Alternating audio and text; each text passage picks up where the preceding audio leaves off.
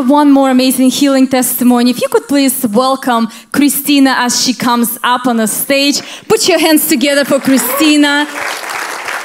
She received an amazing, amazing healing, and she will share with us. Here you go, honey. Welcome. Christina, would you please share with us um, what were the things you struggled with health wise? I had gastritis. I was diagnosed about, oh, I'd say about 11, 12 years ago. And it was terrible. I mean, it was a real struggle. I had to stay home all the time. I couldn't go anywhere because my, my stomach would just out of nowhere, it would just start going out to here without any warning and it would stay out there for a long, long time. And people at the hospital, I'd go to the ER, they said they didn't even know what it was. They'd never seen anything like it before. And so and I so just you were, were you in constant, constant pain yeah, Wow. yeah, for about 10 years? yeah, a little more than that. Wow. And tell us what happened when you came to this place. What did you experience? How did you receive your healing? I had been here one time before, I think, and I, I was sitting in the back, and uh, pastor was preaching, and he said to everyone, "There's someone with gastritis, and um, I want you to put your hand on your stomach." And I thought, "Oh, I have that. That's that's what I have." so I put my hand there, and he said that. Um, sorry. Uh, that it would probably start to get feel some heat underneath my hand. God is healing somebody of gastritis. I curse that gastritis in your stomach right now in Jesus' name. Fire of the Holy Spirit, you will feel heat that's going in your body, in the place in your belly right now. Just place your hand on your belly. If you have gastritis, place your hand there and just say, Holy Spirit, take care of it right now. And I, I was waiting and waiting, and I didn't really feel any heat, but then it started getting warm. And I was with my girlfriend when she had to go, so I mean, I was like, I'm going to be the first one to leave.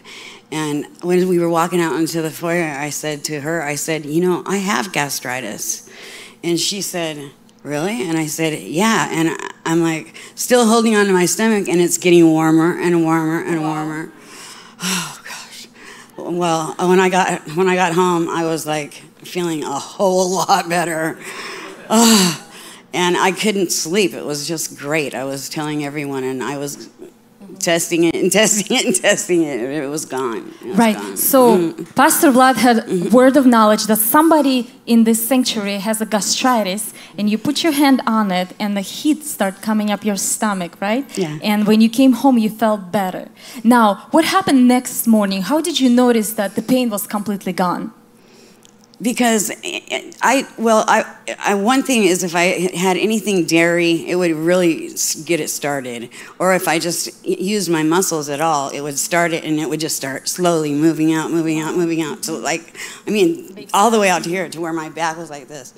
And I couldn't breathe. I, I couldn't breathe because there was so much air or gas or whatever was in there.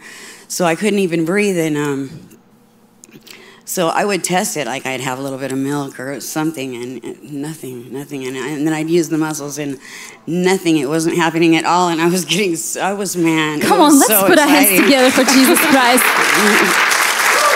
Praise God. Now, Christina, how long it's been since you don't have that pain anymore? Let's see. I think it's been about a month now. A month. Mm-hmm. Uh-huh. Wow. Come on, this is mm-hmm. awesome. Our God is good, amen. 10 years, every single day, she was experiencing excruciating pains. And after the Holy Spirit touched her, the pain was completely gone. Hallelujah. Thank you, Jesus. And lastly, Christina, would you please share a word of advice for people who might be struggling with sickness on this place today? What would you suggest them? I would say never think that it might not be you or that you're, it, it couldn't happen for me or, you know. I mean, I, I prayed and prayed for God to bless me with more faith, more faith, and, and I guess it worked. Because, I mean, it really, it, it can happen to anyone. And just knowing that He, He died on the cross for all of us, and thousands of years ago, He already did the work. And I, I've learned that, and it's just, I'm so in love with Him now. Awesome, awesome. Thank you so much, Christina. Thank you. Thank you. Awesome.